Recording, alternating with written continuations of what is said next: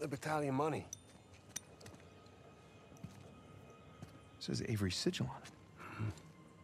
Must have melted down the gold, minted his own currency. So based on that, all the manifests on the shelves, the treasure was here. Yeah. Leaves the bigger question, where is it now? Okay, so we know that there was fighting outside. Yeah, Dan inside. What, you think the colonists stole it? No. I think they were trying to reclaim what was theirs. Look.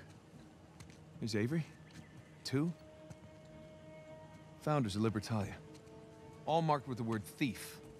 Not murderer, not tyrant. Thief. So by the time the colonists busted in here, treasure was already gone. Yeah, because these guys had already taken it for themselves. Pirates will be pirates, right? Uh, pirates will be pirates.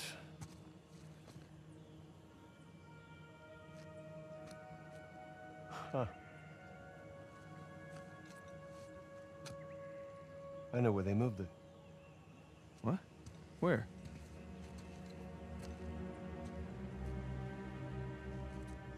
It's a map. Yeah, right there. That's our treasury. It's, a map of Libertalia. Right, so follow it to the other side of the island there, look. Right there. New Devon. But Avery was from Devon, England. He sure was. Man, those are some seriously large mansions. Each of them has its own sigil, too. Because that's where they lived. What do you say we, uh, climb that watchtower, huh?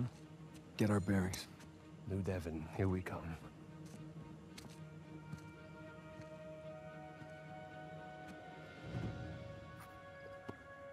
Now, how do we get up there?